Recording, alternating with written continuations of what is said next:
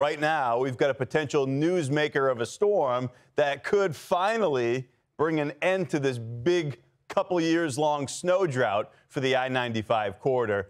Let's get right into it. Fox Weather is your winter storm HQ. It's just two days into the new year, and we are watching what could become the biggest snowstorm for the Northeast in almost two years. Certainly, going back a couple of years, we set the bar nice and low last year. We had talked about this potential, though. We've been talking about it for a couple of weeks now on Fox Weather Now, how the overall setup, the weather patterns were shifting, and it would at least give us a shot. Well, here it is playing out in this first week of the new year. This is the track, roughly speaking, that we're expecting end of the week and through the weekend. You notice this area of low pressure, which does bring heavy rain to the Gulf Coast, places that badly need that rain, on a path to the eastern seaboard and then more east than north. This is important because the predominant storm track over the last several weeks, which has us at a bagel still for snow along the I 95 corridor, it's been these inside runner storms that bring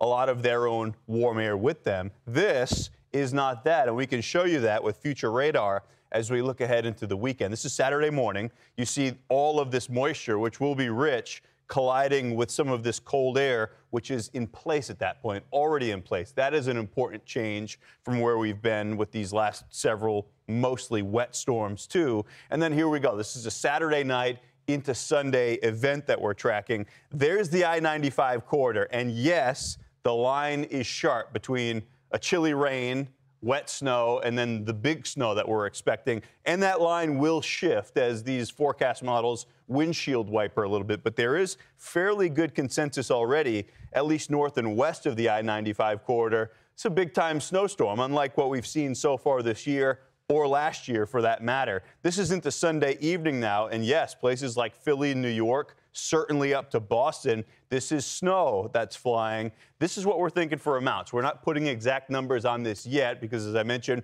we know that that line is going to shift a bit. And look how sharp that is, right along the I 95 corridor. You go from light snow, you will see at worst some, some wet snowflakes. You move north of I 95, those pinks represent heavy snow amounts, perhaps up over half a foot or so, a, a, plowable snow that we're tracking.